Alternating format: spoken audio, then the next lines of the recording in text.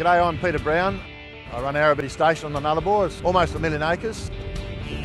When it comes to size, went for a bit of a holiday to the island of Mauritius in the Indian Ocean. That's about 1,500 square kilometres. We're about twice the size of Mauritius. Some blokes said, oh, you've got to be from Texas with a place that big, you know. But uh, I don't think there's anywhere in Texas you can get a place this big. For a first timer out here, it's just mind blowing, you know. We've got about 1,700 kilometres of fence on the place. We started fencing in 1964 and uh, we've still got more to go, so we just do a little bit at a time. We're allowed to run up to 26,000 sheep, but we only run one sheep to about 30 acres. Most of the water we put into the paddocks is piped out. There's around about 70 kilometres of pipe for feeding the livestock.